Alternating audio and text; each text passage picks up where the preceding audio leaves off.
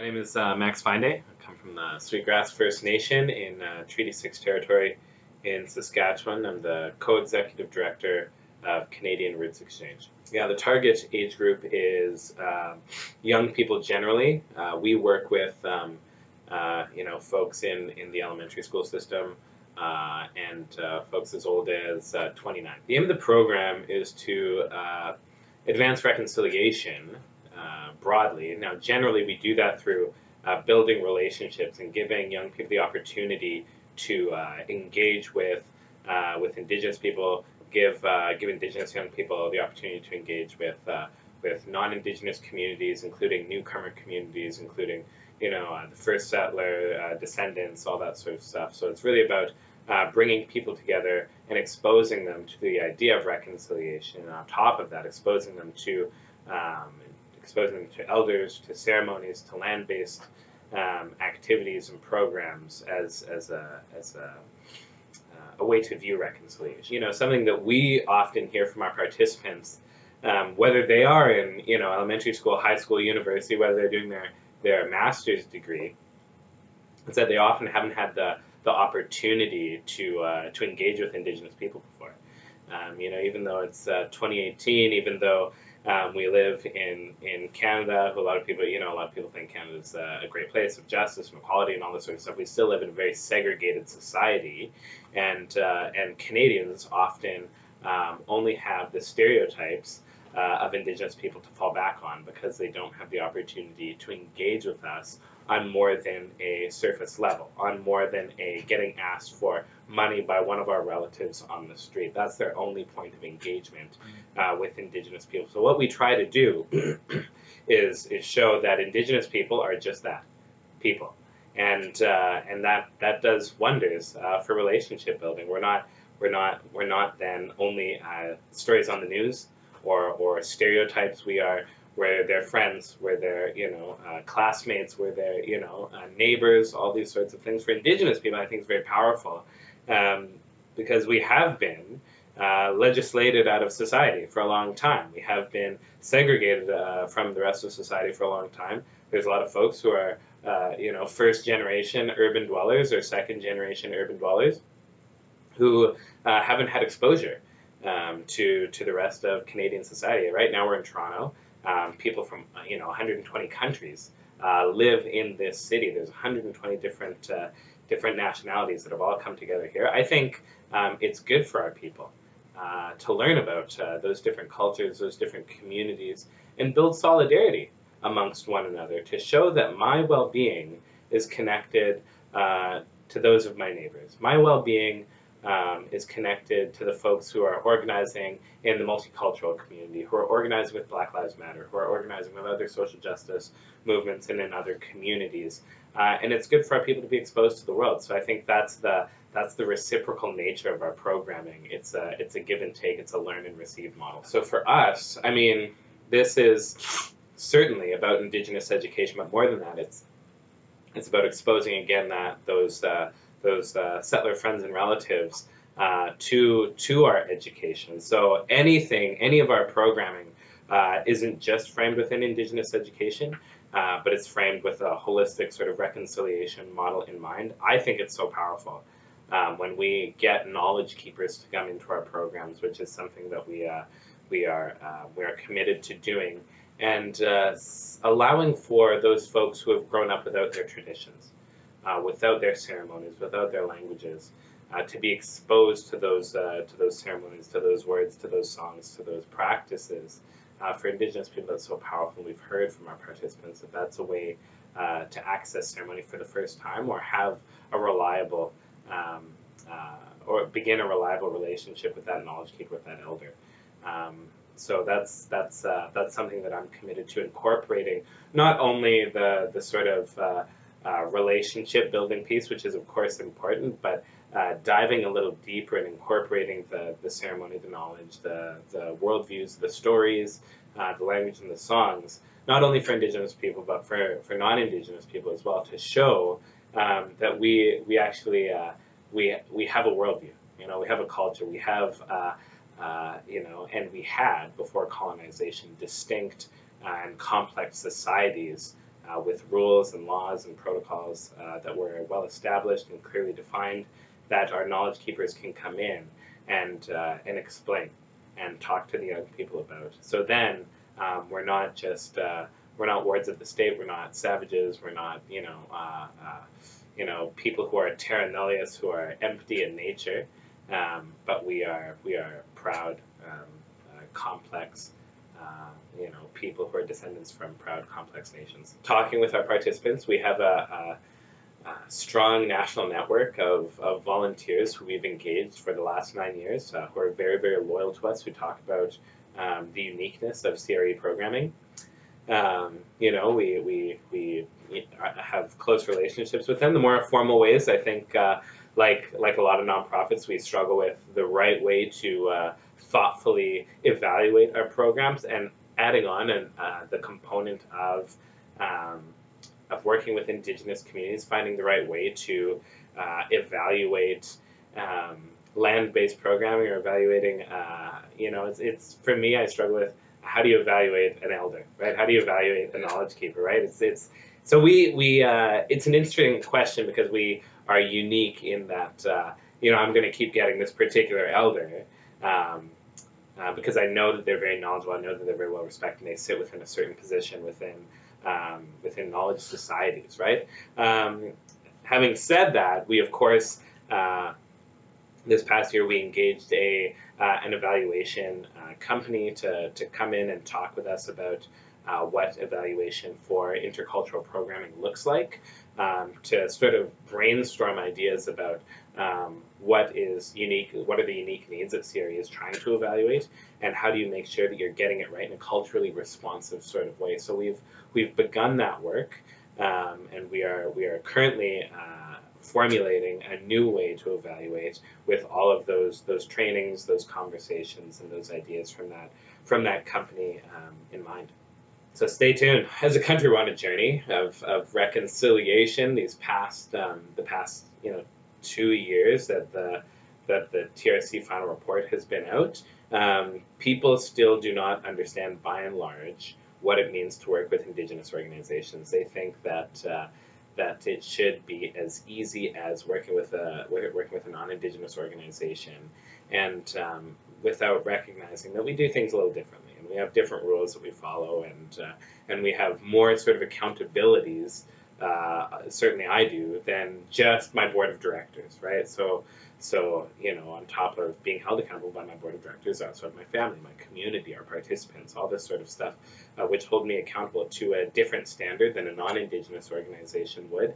Um, people are slowly learning what it means to work with an indigenous organization and that it takes uh, more patience it takes a different worldview, it takes a different understanding, and it, it, it requires some serious self-reflection on our on our partners, our non-indigenous partners that we work with, in figuring out what their what their motive is, what their um, what their role is, and what an opportunity exists for them to help advance reconciliation for young people across the country. You know, for me, Indigenous education, I was lucky to be raised with um, with um, my teachers, my knowledge keepers, my ceremonies, my songs, all that, all that sort of stuff. Mm. And uh, and it often, I often have to remind myself that not everyone was as lucky as I was, and not everyone has uh, the clear understanding that not only were we, yes, a hunter-gatherer society that that had. Uh, um, you know, roles and responsibilities for each community member, including leadership and including elders, including uh, male, female, and, and the, the transgender two spirit uh, community within our societies. We had roles for young people, we had roles for for uh, you know adolescents, we had roles for um, everybody, healers, and all this sort of stuff. Um, but we were also engineers. You know, we were also doctors. We were also um, we also had uh, you know, for lack of a better word, we had lawyers, right? We had a legal system. Um, we had all these sorts of things. When we talk about um, what Indigenous education is, for me, it's about uh, it's about being able to learn those things and be able to transfer uh, the knowledge that I have to other young people to show um, that yeah, you know, we, we made teepees or we made longhouses and yeah, we, we participated in, in powwows, you know, and ceremonies and dances and all this sort of stuff, but it's so much deeper than that. It's so much more than that, that Indigenous education is so is so um, is so complex, is so is so deep that uh, that in a lot of our programming, a lot of the conversations we're having, even as an Indigenous community, we're only beginning to scratch the surface on uh, all that exists and all that was and all that still is there.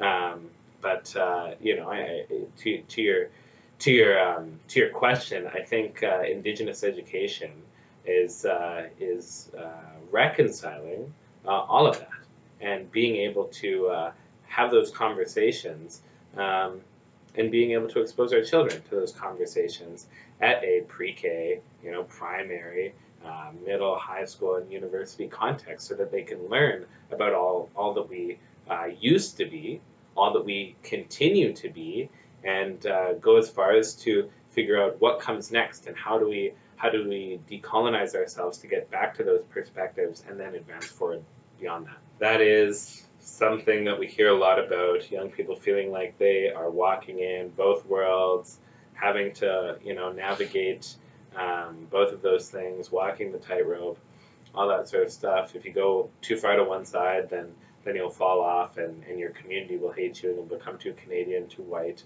If you go to the other side, you become too Indian, then you won't be able to hold a job. The rest of society will hate you, all that sort of stuff uh, it's it's really difficult to, to navigate for young people. I'd, say it's one of the one of the top struggles um, that Indigenous uh, Indigenous young people uh, face um, today. Um, for me, uh, you know, we we uh, we recognize the struggle that exists. All that I can do is provide uh, provide information, provide opportunity to learn about these sorts of things, but also provide that that normalization of, of our of our culture, that normalization of uh, of the pride that we all should have, right? A lot of uh, other cultural communities, um, you know, I'm from Saskatchewan. Uh, Ukrainian people make up a large percentage of the population. They're very proud people, as they should be. It's a beautiful culture. Um, we should be just as proud and not ashamed uh, of ourselves. We should be able to, you know, go and speak our languages, to to to our peers, to our friends, without any sort of hesitation. Um, we should be able to to carry ourselves um, very, very with with ease um, within you know an urban context, and uh, and and uh, celebrate who we are. Um, I think uh, we're we're lacking that as a community. We're lacking that. Um, and certainly in past generations, I think uh, this generation is becoming increasingly more proud of being Indigenous. There's still a lot of work to do, and you know, I think until um, we can we see more people who are who are uh, expressing their in, indigeneity in uh, in everyday contexts and constructs, um, we'll have we'll have a ways to go uh, towards normalizing um, towards normalizing the ability to feel that sense of pride, uh, that understanding of who we are, and celebrate um, again all that we all that we were, all that we are, and all that we we have yet to be there's so much opportunity that exists. Um, you know, if I think about uh, if I think about the last ten years, you know, we're we're in in 2007. Um, that was before Idle No More. That was before you know this big awakening. That was before we started talking about reconciliation as as a country. You know, we're going to um, we're going to be telling uh, our children stories of of what we grew up hearing. And again, you know, when I when I was growing up in Saskatchewan, I heard the names Neil Stonechild a lot, and and, and, and Darrell Night and uh, and Rodney Naistus, and these men who were who were um, dropped outside of Saskatoon in minus thirty temperatures. These Indian men, and they were left to die. The Starlight Tours. Yeah, the Starlight Tours. And um, and uh, you know, I when I think about in where we're going to be as communities and as a society, and where Indigenous education is going to be in ten years, I want those. I want those. Uh, I want those stories recognized. Right. I want. Uh, I want. Uh, I want uh, folks to remember those names.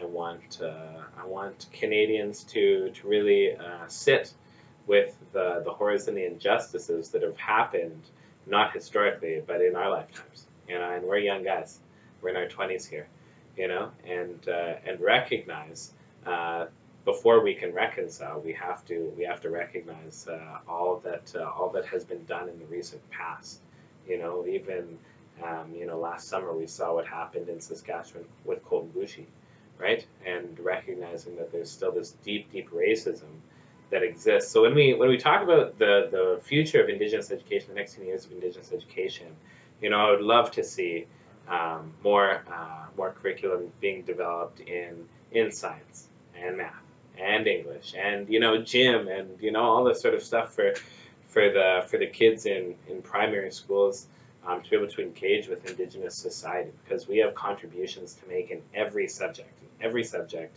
um, we have contributions to make, and they should be included in the curriculum.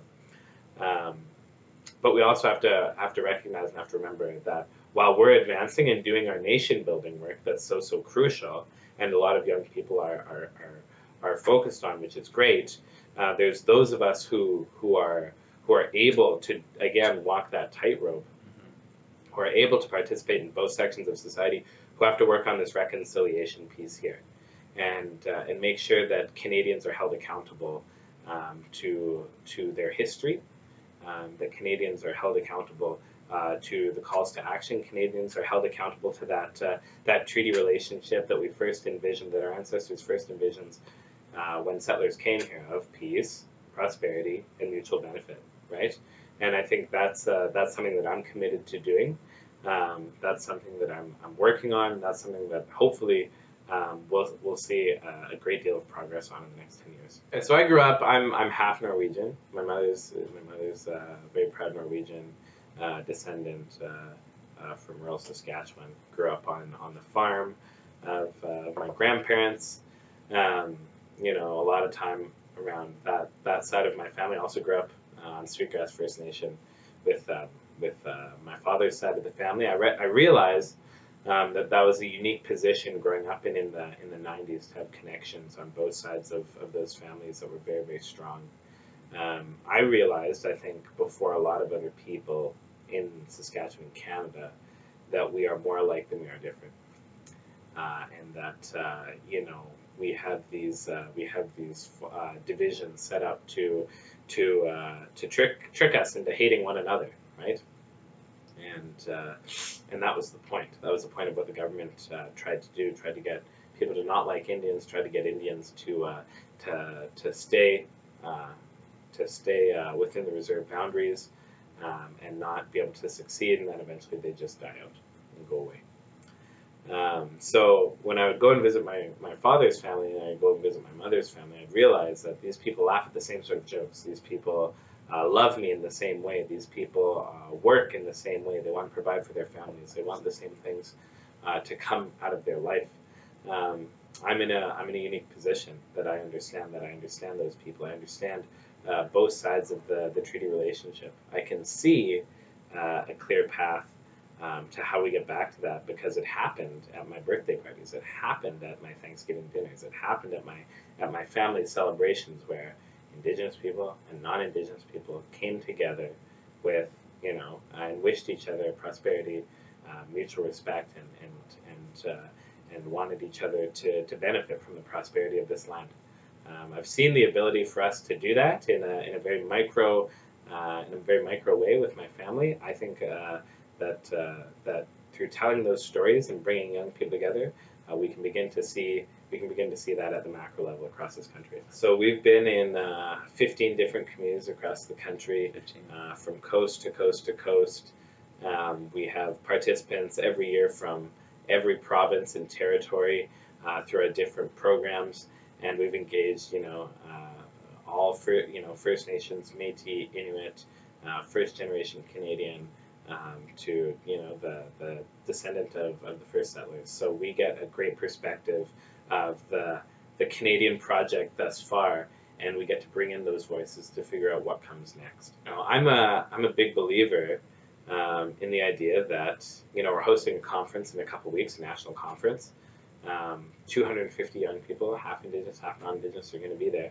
Uh, I really believe that you know the next Supreme Court justice is in that room. I really believe that uh, the next uh, Grand Chief from uh, the Yukon is in that room. I really believe that the next members of Parliament or city councilors or mayors or or CEOs, you know, or or um, you know, uh, whatever are in that room. Those are the folks who are going to be making key decisions for our country in the next 10 to 20 to 30 years and, and beyond that. Um, we need to invest in, in the, the, the education of young people um, that they're not getting from the provincial system mm-hmm. as it is, um, to really dive deep and explain uh, the importance of remembering our history, uh, explain the importance of, of uh, including partnership as a crucial element of the Canada that we want to build as, as, as millennials, as young people. There's a study done by the Environics Institute uh, about a year and a half ago that said that 79% of young people aged 18 to 29 believe that meaningful reconciliation can occur in their lifetime. 79%, higher than any other demographic uh, in Canada. So when we talk about reconciliation, yes, you can sort of triage uh, the pain and the suffering that's happening now and try to talk to the boomers um, about, you know, making more uh, thoughtful decisions, making more uh, decisions that include Indigenous people as partners, all that sort of stuff. But you can only triage it. If you want to begin to uh, change and heal the damage that has been done to our communities or people in this country, then you have to invest in, in the long-term development of this next generation of leaders, and that's what Canadian Roots Exchange believes in doing.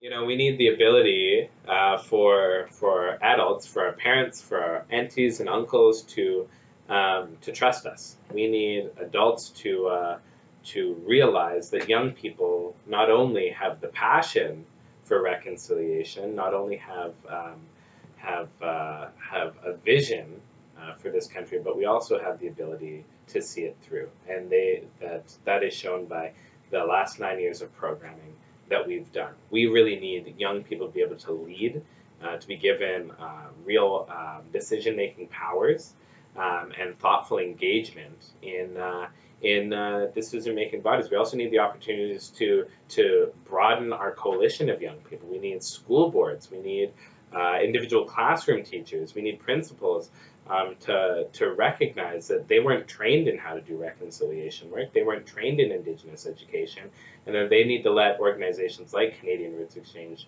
uh, come in and, and expose young people uh, to this work, to these thoughts, to these ideas, to these, um, to these truths, to these histories, and, uh, and, and to, help, uh, to help guide their education uh, so that they, can, they, they are not robbed of the opportunity to learn about the beauty, the strength, um, and the, the partnership that they can have with Indigenous people as, every other past generation has been. It's something, you know, that people don't think about. You know, people don't know anything about Indians um, or Indigenous peoples, um, and that was purposeful, right? I remember my mother telling me uh, very clearly that when she was in, you know, the one-room schoolhouse in Saskatchewan growing up, um, that her teacher told them that all the Indians were dead that there was no no native people, and that's why they got to live here, right?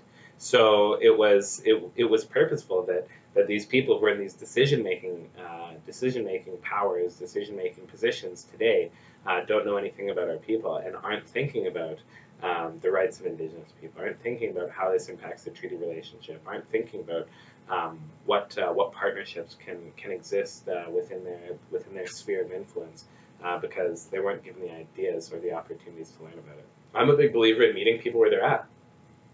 We've we've uh, we've started to um, have conversations with Canada now, and a lot of Canadians are horrified uh, to learn what their country did in the name of settlement, what their country continues to do uh, in the name of you know keeping the wealthy wealthy and keeping the power where the power is. Um, you know, we have uh, we have Canadians who have always thought of themselves as, as very patriotic, very uh, very proud to be from Canada because they are from uh, this great uh, this great country that is seen as the human rights defender on the global stage, while uh, Indigenous communities sit without water, uh, sit without access to mental health supports, and young people are killing themselves, sit without the ability to get an education, all these sorts of things. Canada isn't the, the the you know the good guy that uh, a lot of Canadians think uh, it is.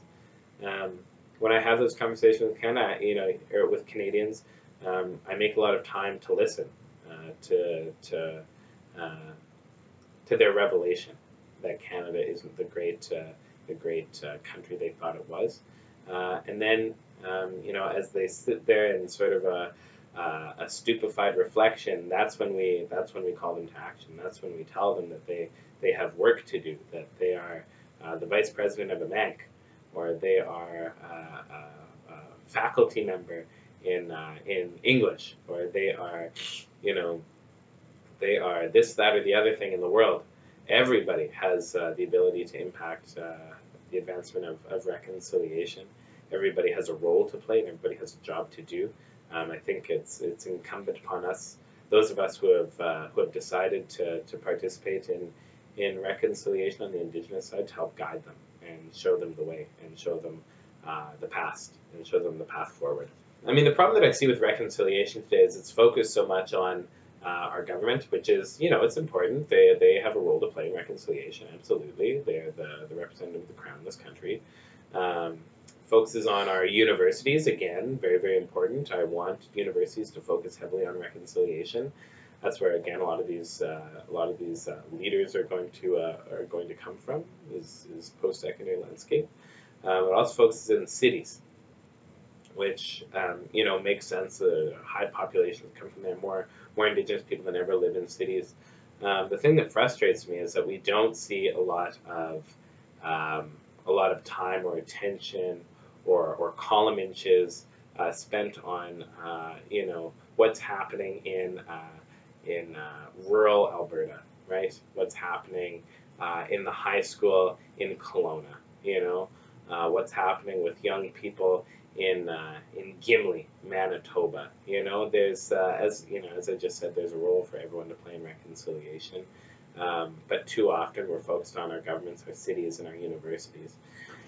It doesn't matter where you live in this country, you should have the opportunity to be able to thoughtfully engage and uh, contribute to the movement of reconciliation.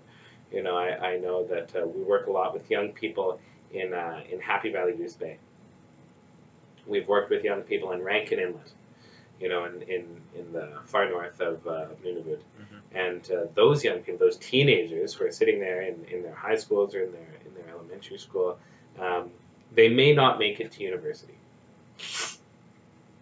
Some may, some may choose to stay within their community. There are a lot of folks in downtown Toronto um, who may not make it to university. You know, that's just statistically speaking, that's both Indigenous and non-Indigenous. Uh, if we focus just on university, then we create this uh, this uh, this power hierarchy where reconciliation is only accessible to those who have the ability to participate uh, within within the the academy. And I think if we if we've learned anything from our history as Indigenous people, um, you know that uh, that exclusion that uh, that creating uh, that creating you know different different hierarchies of of, of knowledge, creating you know um, systems that that privilege uh, some folks based on their their abilities or, or what have you, uh, that that isn't helpful. That uh, that doesn't serve our interests. That's actually what has been used to to keep us keep us oppressed for the last you know few hundred years. Um, I think it's important that uh, that young people are exposed to the ideas of reconciliation as early on in their educational careers they can be, um, including you know grade one, uh, grade three, grade five, grade seven, whatever it is. Um, and that's why we work with that's why we work with um, young people as young as grade seven. So I work in high schools to to make sure that at, uh, at a few different points within their education, they have the opportunity to engage with, with someone who's of their generation um, so they can thoughtfully think about uh, what their role is and normalize the ability to treat Indigenous people with compassion. I think that's what's going to change the country in this next generation. You know, I think uh, we're going to see a big shift in the next uh, in the next few years in in uh, how the movement uh, is progressing. I think um, reconciliation. If you if you look back to, to when the Truth and TRC uh, started, um, and you look to now, you'll see just how much the movement has changed. I think reconciliation is going to be known as one of the, the reconciliation movement is going to be known as one of the um, fastest adapting, uh, quickly changing, and and and agile uh, social movements uh, in the history of uh, of this country, possibly even the world. Um, because we are more connected than ever, uh, because we have young people who are willing to uh, to uh, shift their thinking around what they what they've been taught in schools, and uh, and have a real passion for seeing results. Um, we're not we're, we're, we certainly are and have, and you've seen that through. Um, through Idle No More, we've been uh, taking to the streets and we've been protesting, engaging in um, sort of traditional behaviors that social movements do. Um, and I think that's really powerful. That sends a, a, strong message to the public that we're out there, we're organizing. Um, but we're also uh, permeating the, the system. We have people working within um, uh, systems of power who are making the, the day-to-day change, who are doing uh, that sort of work. I think, you know, going back, going back to your question, um, we are a organization who, who has been trying to react to this change, who has been uh, re-examining our programs, who has been responding to the needs of young people uh, to engage in reconciliation. I'm, you know, I'm one of the few people, um, you know, uh, who's who's trying to work himself out of a job. You know, I don't want to be doing this forever. I want I want reconciliation to be uh, achieved. Mm-hmm. You know, I don't think uh, I don't think uh, we want to see a Canadian Roots Exchange forever, right? Because we want to see these these problems, these disparities, these gaps um, closed. We want to be on par with uh, with the rest of Canada. We want to be respected. We want, um, you know, we want equity uh, from this country. Um, and I think you know we would we would love to have uh, young people who believe the same. Uh, we would love to have their vision, their voice, their experience, their passion, their dedication, and uh, and their ability to contribute um, in that way. And we'd love for, for them to be part of, of CRE's programs so we can get there together.